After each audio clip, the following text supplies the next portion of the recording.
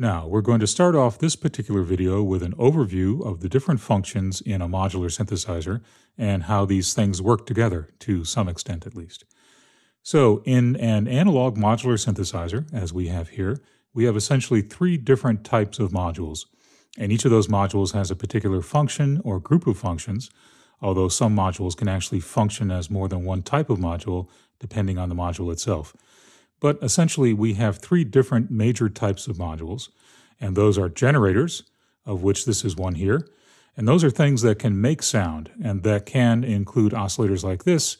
It can include white noise generators and other types of devices like that. In a modern synthesizer, for example, it could include sample playback modules and so forth. So, generators are anything that generate the basic sound. And then from there, we have processors or modifiers. So on this system, for example, we have several different types of modifiers. Here are two that are pretty common. This over here is a voltage controlled amplifier, which in this system is called the Quad Dynamics Manager, but essentially this is a voltage controlled amplifier that lets you adjust the level of the output that's coming from the various generators. Over here is a voltage controlled filter, also known as a VCF. And by the way, a voltage controlled amplifier is also sometimes referred to as a VCA. So, this voltage controlled filter, or VCF, is a filter that removes harmonics, removes content from the generator output that you have patched into it, whether that's an oscillator again, or white noise, or what have you. So, a filter removes content, and that is the basis of what we call subtractive synthesis, which is what most analog synthesis is based on. There are several, actually many, different types of synthesis out there.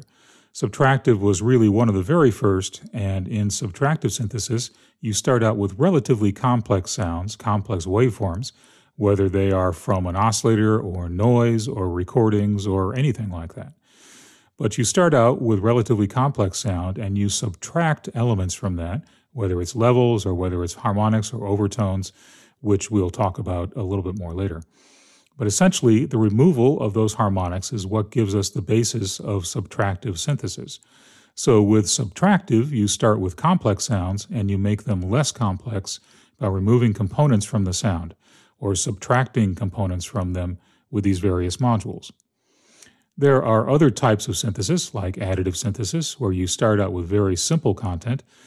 Uh, usually, additive is ordinarily done with sine waves, and you add those sine waves together in various ways to make more complex sounds. And then there's FM synthesis, frequency modulation, where you take two different waveforms and use one to modulate the frequency of another. And in that case, what happens is that you get much more complex sounds from very simple sources. And we'll talk a little bit more about FM later as well. And from there, there are many other different types of synthesis. So, phase distortion, granular synthesis, where you take small particles of sound and aggregate them together to make larger sounds, and that sort of thing. We'll be talking here primarily about subtractive synthesis. So, so far we've talked about generators and processors or modifiers, and the last type of module that we'll take a look at is the controller modules, which we'll do in our next video.